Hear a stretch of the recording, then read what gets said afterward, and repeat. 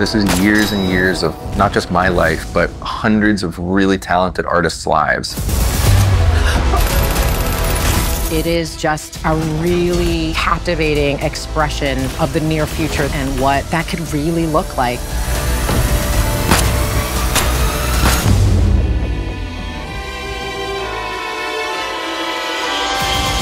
Terminator Zero uh, imagines a timeline in the Terminator pantheon that starts in 1997. It felt to me like there was an opportunity to go to the week of Judgment Day and see what happens. 日本人男性型ターミネーターが出てくるんですけどもそういった意味でこれまでのターミネーターのイメージとはちょっとまあ違うんだけれども I first kind of had to ask myself if this is going to be animated, what can animation do that a live action film can't?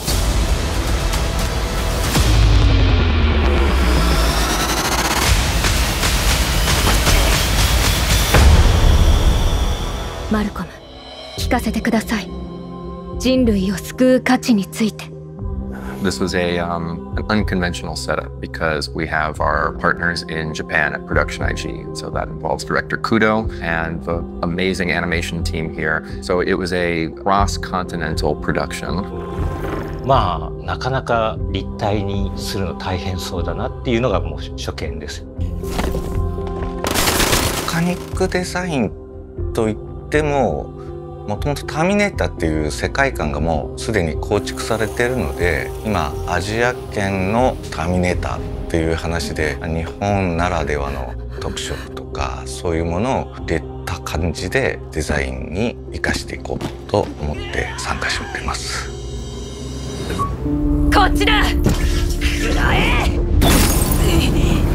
クターはもう本当みんなやっぱり今回は魅力あるなというかまあ個性がちゃんと立ってるなとは思っていてあなたはまだこの質問に答えていない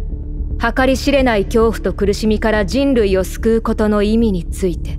I have yet to hear a compelling reason why I should save you. Your time is running out, Malcolm. I am the voice of Kokoro. She is an advanced AI that has been developed as an answer and a counter to Skynet. Kokoro is a it's a god. Those scenes are like talking to God. And so my big question is, what does God sound like? For me, it's Rosario Dawson. She has such astonishing, wonderful control over her voice. I am such a huge fan of the Terminator franchise, and it is mind blowing to me to be a part of it now. I was so excited when I got the ask and invitation.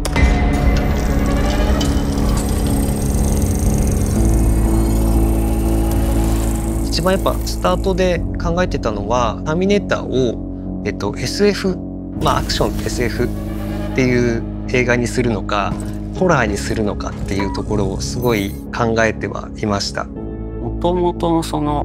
マットさんの構想として「ターミネーター1」みたいな感じであのちょっとまあホラーテイスト。歌舞伎の般若の面っていうのがあるんですよ。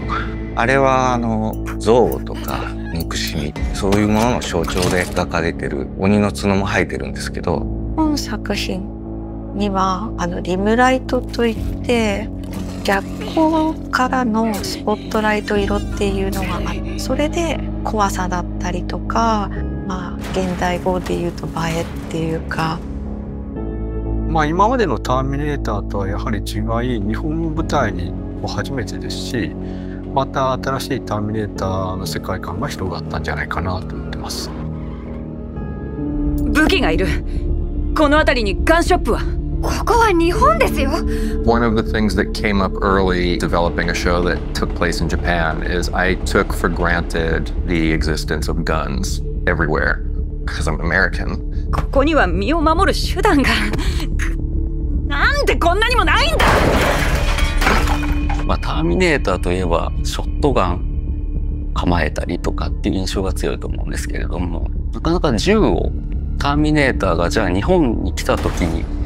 に入れるのって難しいんじゃないかっていうことで That turned into a really fun collaborative conversation in which I said, okay, guys, like walk me through what you would do if there was a killer robot in Tokyo in 1997. So we started talking about crossbows, we started talking about swords, we started talking about, you know, what could you get at Home Depot and fashion into a, a chemical weapon. That just really upped the stakes for, okay, these characters have to be very, very smart in how they approach fighting this unstoppable killing machine.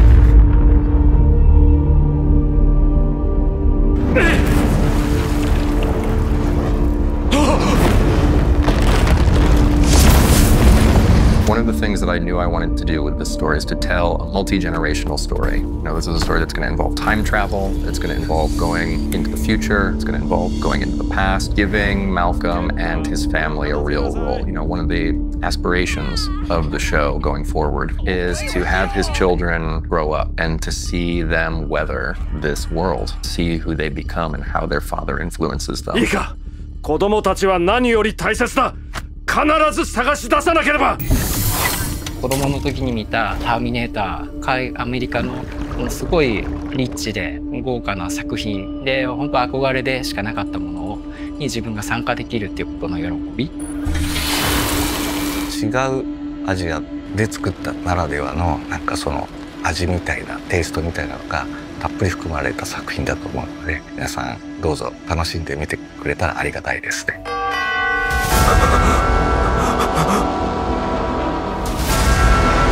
ぜひあのストーリーと絵柄とかを楽しんでいただけるとありがたいです。